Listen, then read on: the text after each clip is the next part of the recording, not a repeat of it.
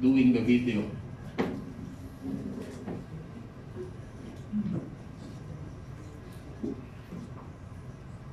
Okay, a simple two-story building, okay, resting on the ground.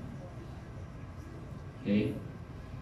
Now, when the building experiences an earthquake, first of all, especially here in Kidapawan, I, I believe that you have experienced vertical component of the earthquake. Okay, so you will sense that you're being dribbled. So what happens on the building when the earthquake goes up and down? Okay, up and down. So what happens now is if we have a load here, the vertical components of the building is the weight, whatever weight you have here, may tao dyan or mga gamit dyan, all the weights there will be multiplied further. Okay, it will increase its percentage. So whether it's in the second floor or in the roof, naka roof din ha.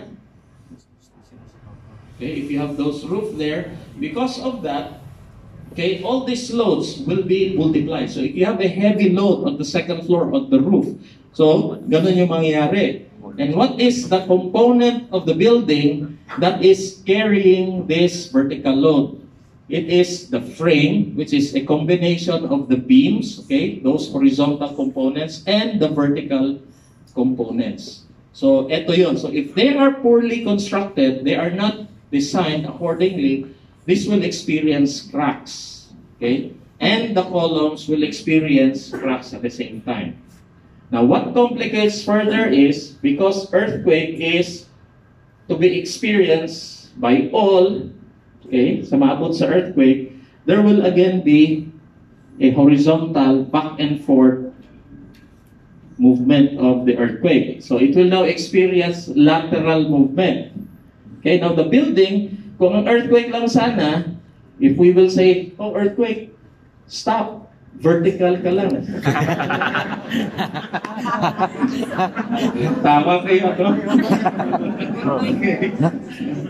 Okay, if the earthquake will just be vertical only, that is even okay. Because vertical, siguro magliliparan lang yung mga gamit mo and the columns, okay, I'm saying that if the building is normally constructed, the building is uh, strong in compression, the columns, without swaying, okay lang sana yan. Pag nag, naglindol, vertical up and down na, okay, parang tayong nag, nag-cheering na doon. Ra, ra, ra, sis, bomba, go, go, go. Yung vertical lang, ha? Ganun sa mga stadium, sa mga basketball courts, okay lang yun, walang problema. Pero, we cannot say the earthquake to stop. Sasabi niya, oh, meron pa akong dudugtong dyan. I will shake you laterally, horizontally. And that is where the danger is. It's the lateral movement of the ground. So what happens to the building pag nagla-lateral siya?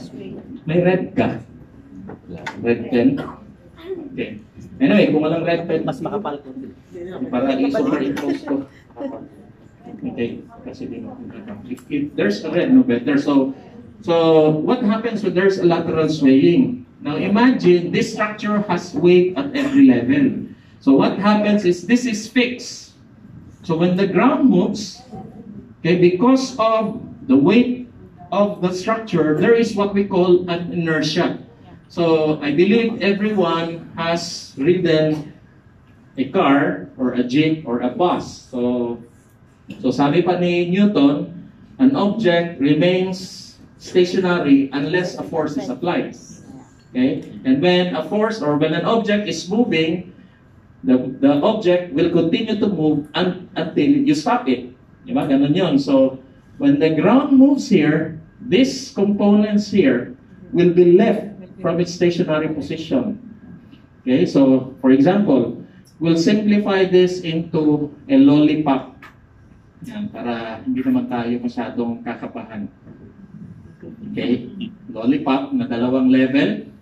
Okay, the weight of this level and the weight of that level. So we'll just call this weight 2 and weight 1. So weight 1 and weight 2. Now when the ground moves here, okay, when the ground moves here, so the ground will move and if there is a weight here, mauuna itong poste. Okay? Maiiwan yan siya. And then, it will try now to pull this weight. Susunod siya, then susunod yun. So, parang sasakyan ba na you are resting there and then you suddenly accelerate, you feel the chair, tama? Will, will push you in front. Kasi yung weight mo naiiwan. And then when you put a brake on your car, okay, the car will stop, but your weight will continue to move forward. So do you, do you, am I getting through you? Yes. Uh, so ganun yun, ano? So, ganun yung nangyayari as the, as the ground moves back and forth, the weight will remain where it is. And because it remains where it is, the only component that will be resisting that back and forth movement is the columns. Yan. Okay, generally it's the columns and then it will be supported or it will be complemented by the beams. So yung matibay na poste, kahit hindi kasing tibay, yung beams, if you have a very strong column, then it will resist the swaying. So you imagine me as the column. Kung mabigat yung aking upper body, kasi medyo overweight ako. So, pag mag-move back ang lupa dito, may iwan yung upper part ko. Pag nag-move naman sa kabila, may iwan yung, yung upper part ko. So, the only thing that is resisting that are my legs. So, kung mabagal, mahina yung legs ko, luluhod na lang bigla, bigla yung aking legs. So, okay ba yun? So, when we understand that principle, now let's apply that to the damage it will create to the structure. Now, let's go here. If this column Okay, this now building, this structure will move in that direction, maiiwan to siya. Okay, let's just say nag-move na to. Okay, gaganon yan. This is now the deformed shape of the building. So I just overlay it, no? So that distance na minove niya Okay, that, okay, pareho lang yan. That distance, delta, or the triangle delta, pag nag-move yan siya doon, naiwan yung sa taas, these joints, eto sila, will be highly stressed. So if it is now overloaded beyond the capacity of these columns, and the most stressed part of a building is the ground floor. And you have seen yung Eva Hotel, ground floor yung bumagsak. Now, if you've seen in Facebook, yung Ecoland 4000, ground floor din yung bumagsak. Okay, then there is now a ripple effect at the top as it as it falls down. I was in Correjo Digos yesterday, so that's my third uh, visit already. So the first time we visited, we already saw a telltale sign of the cracks in this column after the October 16. Then on the October 29, after that, my engineer, may red dyan, ma'am? Ah, okay. Sige, okay lang. Blue, ma'am. Blue. Wala lang. Black lang. Wala. Wala Isang kulay lang, okay na siguro. Okay, so, when when we saw those telltale talaga. it now. Gives us an idea if there is an aftershock, this will explode. True enough, after November 29, that location there, those points there exploded. And then I told them again, if we will not retrofit this immediately, the next thing that will happen is this will bow down. Luluhod na ito.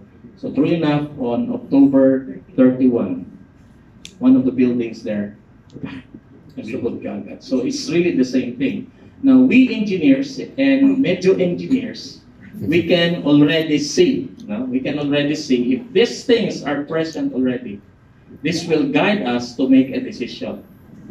So, okay na ba to? Naintindihan na ito sa idea? So, we'll now go to the cracks. So, when we will do an inspection to answer level 1, 2, and 3, we have to see this lower stories always. Okay, so we'll not talk about how to do the inspection. We'll, we'll go into that later on. But when we go there, when we inspect those buildings, we have to see, dapat makita natin yung ground floors. Like for example, this is I think one story lang naman ito, no?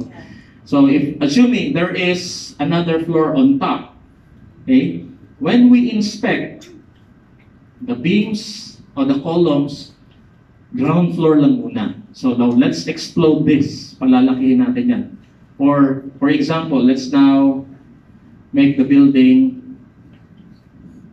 bigger. Okay? When I do the inspection, so let's just say, let's look at that. Ano yung titingnan natin? And again, no? Any signs of distress or cracks, they come in couples. Meaning they're always in pairs. Okay, magkapares yan. Minsan, our eyes will deceive us. Ah, dito lang may damage. Now, if we try to look at this building, itong building na to, example, but let's not pray na magkukulap siya. For example, merong crack doon sa taas. Ah, meron kaming crack na nakita doon. Almost often, it is always paired with a crack on the other side. If there is a crack on that side, almost often, the crack is also present on the other side.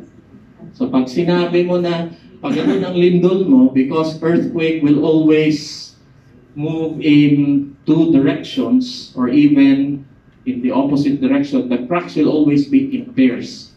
Kung merong crack doon, may crack sa taas yan. Kung may crack doon sa baba, may crack din doon. Although with varying uh, degrees, but they are always in pairs.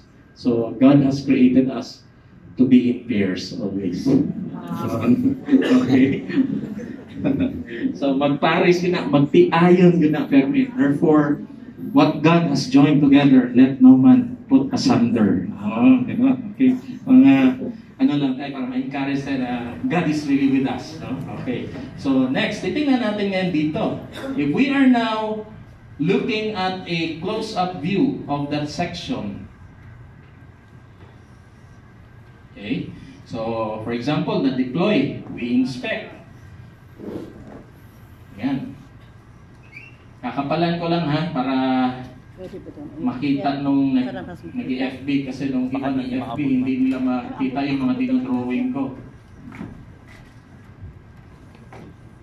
Okay? Yan. 그렇죠.